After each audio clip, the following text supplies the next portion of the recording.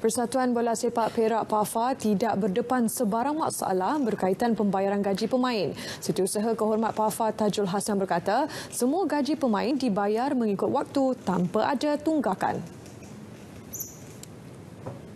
Cuma jelas tajul, pembayaran itu kadang-kadang terlewat dari tarikh sepatutnya. Namun, kesemua empat pasukan di bawah persatuan itu tidak pernah berdepan tunggakan gaji. Setakat ini, beliau juga tidak menerima sebarang aduan atau rungutan berkaitan masalah gaji daripada pemain dan memberi jaminan perkara tersebut tidak akan berlaku.